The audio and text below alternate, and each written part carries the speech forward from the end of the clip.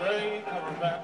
Boy, he probably jumped in the regimental barrack with a bottle in his hand. Sparkling, sparkling, what's a mix of peaches and rum. Honestly, I don't drink, but if I did, this would be my favorite.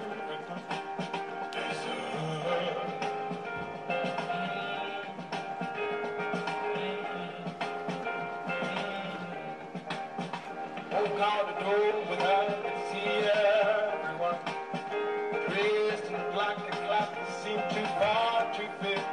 She said, look at you, look at you, the game is over. The cup is full, the cup is full. Stop praying for more exposure.